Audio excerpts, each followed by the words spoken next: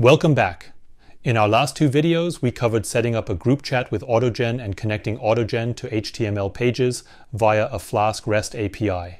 However, we faced a challenge. The conversation on the front end was only visible after it had ended.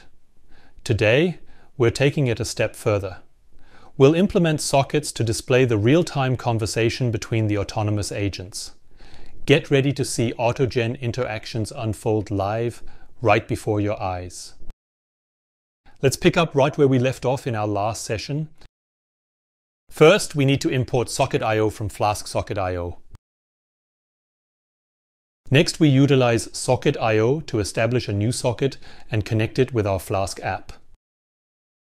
Our following step involves overriding the print received message method from the AutoGen libraries. Regrettably, the output through the console is presently hard-coded in the libraries, and as of now, there's no designed method to stream the responses.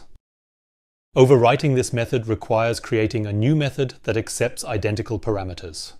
These parameters include self, message, and sender. Initially, we'll attempt to display the sender's name and message content on the console. Subsequently, we plan to transmit this data to the front end using socket.io. If we assign the newly created method to the group chat manager, it should then utilize this updated logic. We'll now test if the agent's outputs are displayed using our new method. To do this, we'll initiate the group chat. From the output, it's evident that our modified method is being utilized instead of the original one. Next on our agenda is to transmit this data to the front end. This requires us to update our index.html file. Initially, we incorporate the socket.io library from a CDN.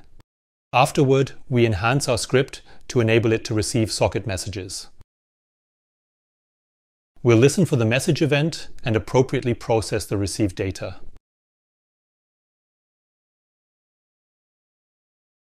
Our aim is to generate a new div for each message, showcasing the sender and the content of the transmitted message.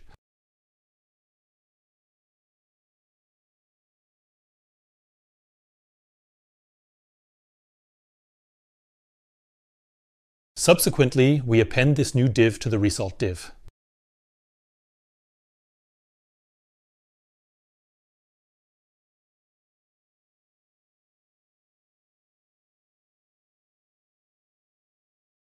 Our following step involves sending the message from our server to the front end using the emit function.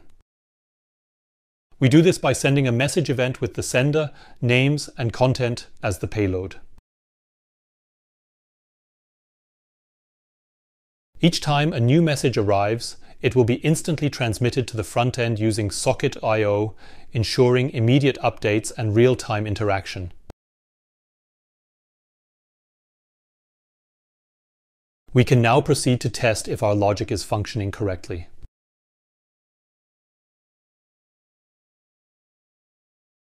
We observe that messages from the individual agents are being successfully and dynamically displayed on our website.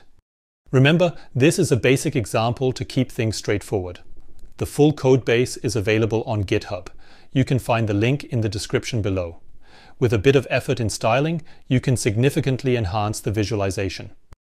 If you found our walkthrough of AutoGen helpful and want to keep up with more coding insights, make sure to hit the like button and subscribe.